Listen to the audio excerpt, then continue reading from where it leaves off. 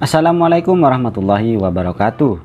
Berjumpa kembali dengan saya Hari Arifin di channel yang selalu memberikan tutorial, trik dan tips seputar dunia menjahit. Untuk kalian yang baru menemukan channel ini atau yang baru mau bergabung dengan channel ini Jangan lupa ya diklik tombol subscribe-nya Lalu tekan tombol loncengnya untuk mendapatkan notifikasi jika ada video terbaru dari channel penjahit hari. Like, komen, share juga ke sosial media kalian juga ke teman-teman penjahit lainnya jika video tutorial tips dari saya bermanfaat. Oke, di sini saya akan menjelaskan apa saja sih kendala pada alat eh, lubang kancing yang ini ya.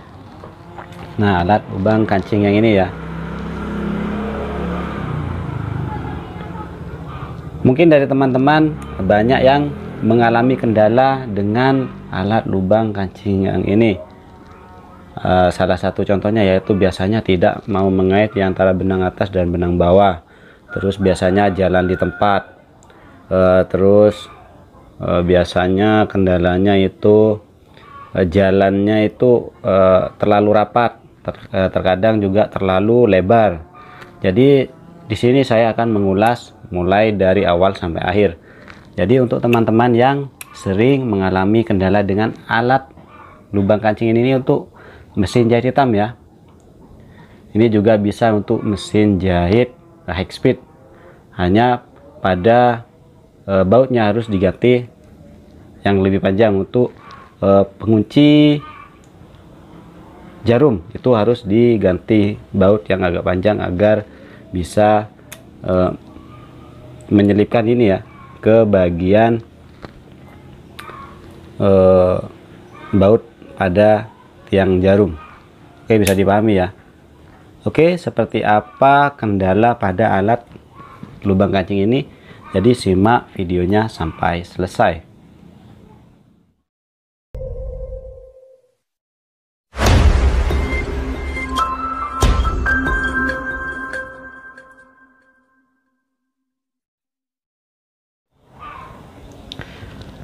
Oke, di sini saya akan menjelaskan apa saja sih kendala yang mungkin bisa terjadi pada alat lubang kancing yang satu ini ya. Nah, ini adalah merek dari YS Star. Biasanya untuk teman-teman pemula kebingungan jika mengalami kendala ini. Kendala yang pertama yaitu biasanya saat menggunakan alat ini eh, hasil dari setikan itu lompat-lompat Nah, hal pertama yang harus kalian perhatikan yaitu dari settingan mesin jahit. Ingat ya, pada settingan mesin jahit. Jadi bukan dari alatnya. Bisa saja jarum kurang turun. Yang jelas bukan dari alat yang ini ya. Untuk jahitan lompat itu e, berasal dari mesin jahitnya. E, kendala yang kedua biasanya yaitu yang terjadi e, jarak setikan terlalu longgar atau terlalu uh, berjarak ya. Nah untuk pengaturannya yaitu ada di sebelah sini ya yang ini ya. Ini tinggal kita putar searah jarum jam untuk merapatkan uh, setikan. Jadi itu uh, jalan setikan pada mesinnya biasanya itu uh, zigzag. Jadi untuk merapatkan zigzagnya itu pada bagian ini juga pada bagian yang di depan. Yang ini ya. Untuk baut yang di belakang ini untuk melebarkan eh, jarak setikan antara kanan dan kiri. Jadi untuk lubang kancingnya ya. Nah untuk baut yang di belakang ini saya akan menjelaskan eh, fungsi-fungsinya dulu ya untuk eh, permasalahannya akan saya bahas untuk selanjutnya.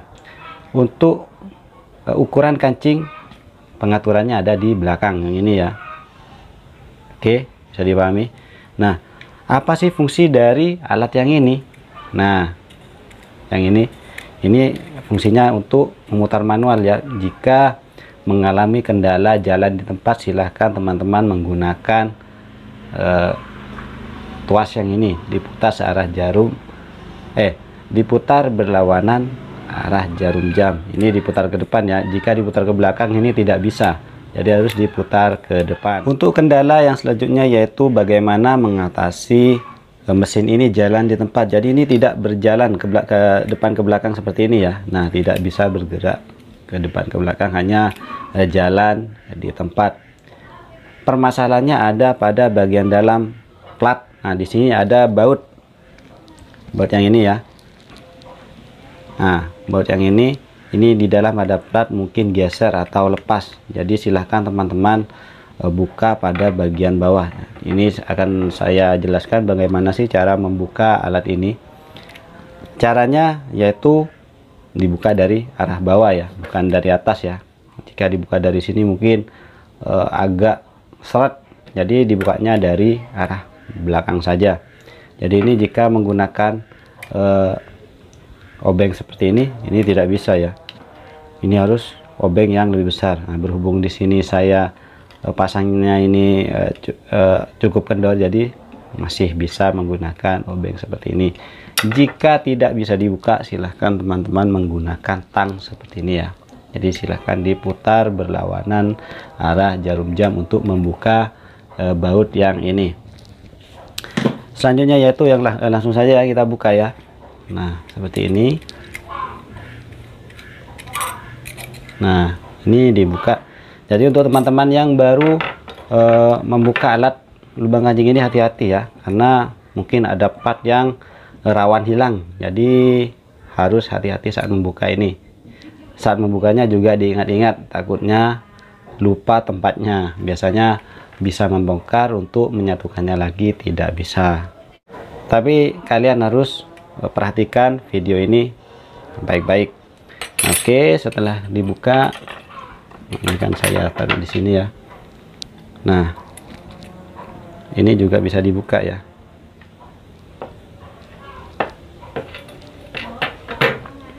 Ini juga bisa diangkat seperti ini ya. Nah part yang rawan hilang yaitu pada bagian yang ini ya teman-teman.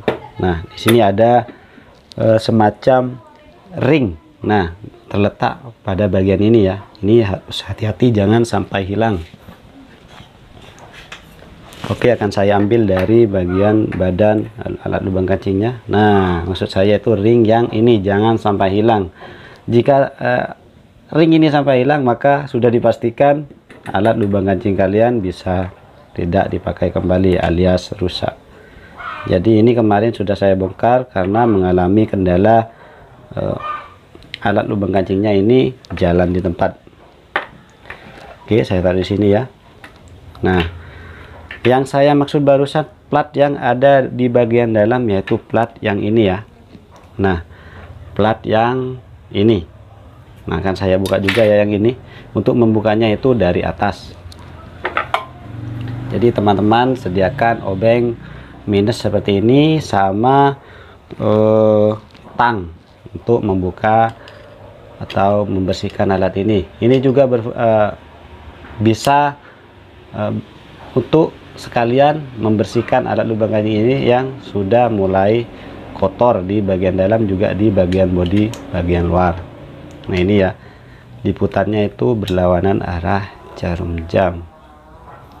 Seperti baut pada biasanya ya cara bukanya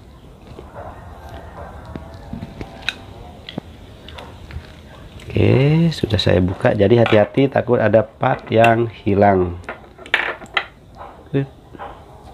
Nah, ini masih ada ya.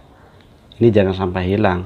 Saya tekankan lagi alat yang ini jangan sampai hilang plat yang ini nah, oke nah saya yang saya maksud plat yang bagian dalam yaitu yang ini ya nah plat yang ini ini berfungsi untuk menggerakkan eh, bagian sepatu yang ini ya agar bisa ke depan ke belakang. Jadi permasalahannya ada di sini. Nah ini sudah mulai geser kembali ya yang ini ya.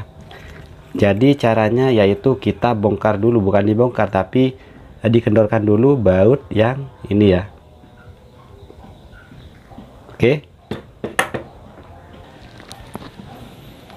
Berhubung saya menggunakan uh, punya obeng kecil seperti ini jadi bisa digunakan ya. Nah kita putar berlawanan arah jarum jam.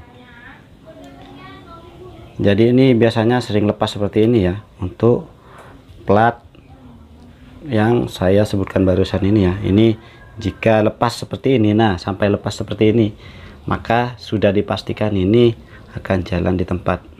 Nah, jadi caranya yaitu kita turunkan kembali seperti ini ya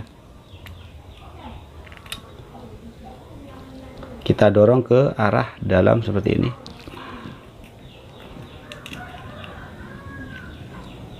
Lanjut kita kencangkan kembali diputar searah jarum jam.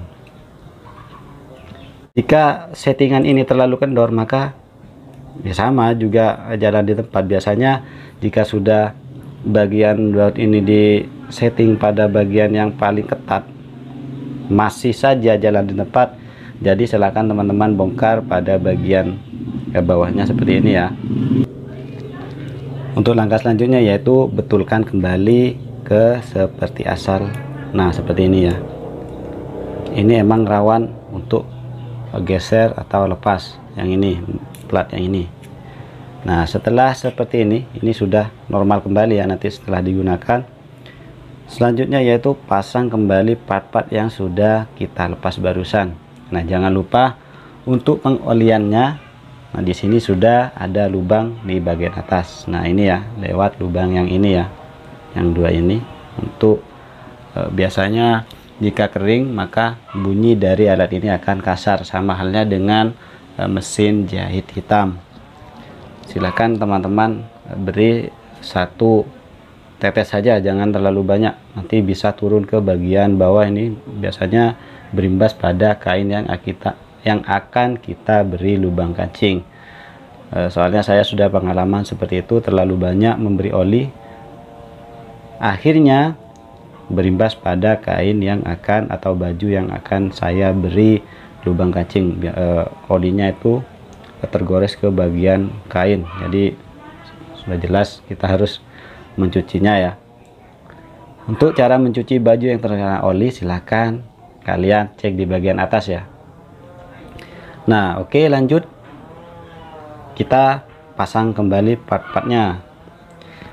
Jadi harus diingat ya. Nah ini untuk part bagian depan tidak ada e, benjolan seperti ini ya. Nah seperti ini ya partnya ya. Ini terletak di bagian belakang. Jadi kita pasang terlebih dahulu dari bagian depan seperti ini ya cara pasangnya. Ini harus dipegang agar tidak lepas. Nah selanjutnya kita pasang baut yang ini ya. Oke kita pasang kembali.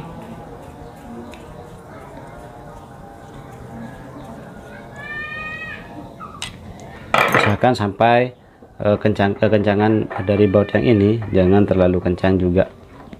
Jadi sedang-sedang saja ya. ya. Selanjutnya yaitu bagian belakang yang ini ya sama cara pasangnya yaitu bisa seperti ini ya. Nah oke. Okay. nah ini rapat kembali ya. Selanjutnya yaitu kita kaitkan uh, yang ini ya ke bagian baut yang di belakang yang ini.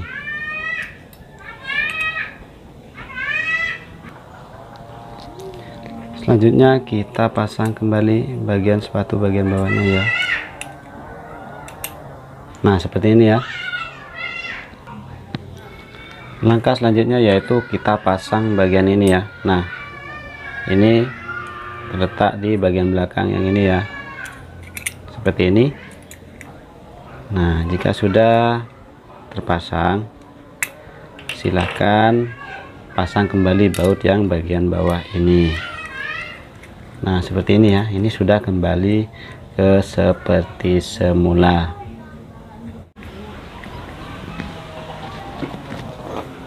untuk mengencangkannya menggunakan tang. Nah jangan terlalu kencang juga ya. Nah oke okay, seperti ini bisa dipahami ya. Jika masih belum dipahami silahkan teman-teman tinggalkan pertanyaan teman-teman di kolom komentar. Pasti akan saya jawab melalui video seperti ini atau melalui eh, langsung pada kolom komentar pertanyaan teman-teman semuanya. Demikian tutorial kali ini Semoga tutorial ini bisa bermanfaat untuk teman-teman yang saat ini mengalami kendala dengan alat yang satu ini ya. Jadi untuk kalian yang masih bingung caranya silahkan ditonton lagi dari awal ya. Jadi jangan sampai ada video yang di skip agar tidak ketinggalan informasi. Oke, tetap jaga kesehatan, gunakan masker, jaga jarak juga ya, karena saat ini masih masa pandemi. Semoga rezeki kita dilancarkan oleh Allah Subhanahu wa taala, diberi kesehatan, diberi rezeki yang lancar sama ya eh, admin juga semoga rezekinya lancar. Jadi kita saling mendoakan saja. Sampai berjumpa di video selanjutnya. Wassalamualaikum warahmatullahi wabarakatuh.